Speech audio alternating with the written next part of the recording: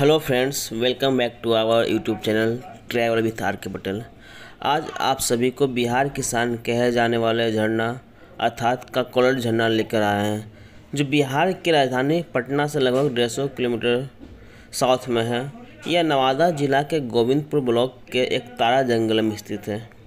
नवादा से लगभग पैंतीस किलोमीटर की दूरी पर है। कोलर झरना का कोलर के खूबसूरत पहाड़ी पर बसा एक झरना है यह झरना खूबसूरत दृश्य और हरियाली से भरा हुआ है। ककोलर जलप्रपात का पानी काफ़ी शीतल है, जो साल के तीन सौ पैंसठ दिन आपको अवेलेबल मिलेगा। यहाँ पर कभी भी पानी नहीं सूखता।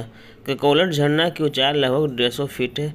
गर्मी के मौसम में देश के विभिन्न भागों से लोग अपने परिवार और दोस्तों के संग पिकनिक मनाने यहाँ आते हैं और खूब इंजॉय करते हैं। इस झरने के चारों तरफ़ जंगल है, जो लोगों को अपनी ओर अट्रैक्ट करती है। पर आप देखेंगे कि लोग किस तरह झरने में अप, अपने दोस्तों और परिवार के साथ इंजॉय करते नज़र आ रहे हैं और वीडियो के अंत तक बने रहें ताकि आप भी खूब इंजॉय कर सकें।